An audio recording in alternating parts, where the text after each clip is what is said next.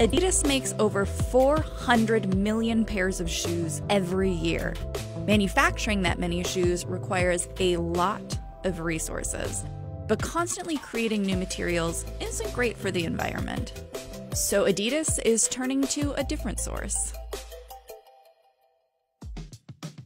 Experts predict that in 30 years, there will be more plastic in our oceans than fish. And one study estimates that 90% of seabirds have consumed some form of plastic waste. All that pollution on beaches and in the ocean is harmful to both marine life and humans.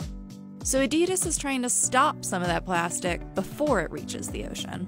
In 2015, Adidas partnered with the environmental organization Parley for the Oceans. Their goal? To turn marine pollution into sportswear. And they've made huge progress. In 2019, Adidas expects to make 11 million pairs of shoes with recycled ocean plastic. That's more than double what it made in 2018. Adidas says the partnership has prevented 2,810 tons of plastic from reaching the oceans. But how are these shoes made? It all starts at the beach. Parley and its partners collect trash from coastal areas like the Maldives. The waste is then sorted, and the recovered plastic is sent to an Adidas processing plant.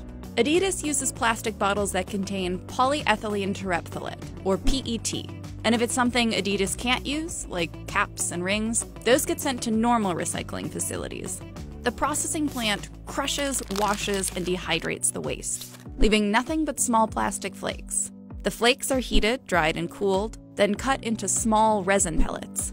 Normally, polyester is made from petroleum, but Adidas melts these pellets to create a filament, which is spun into what they call ocean plastic, a form of polyester yarn.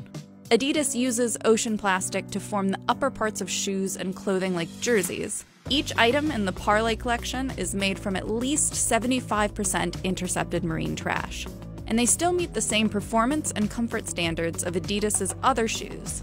Recycled polyester uses less water and fewer chemicals and helps prevent plastic pollution. Adidas' goal is to replace all virgin polyester with recycled polyester by 2024. Currently, more than 40% of Adidas apparel uses recycled polyester. You may have seen Adidas recycled sportswear without even noticing it.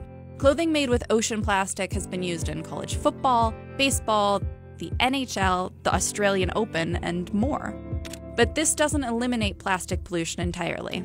Washing polyester clothing can create microfibers, which may end up in the ocean.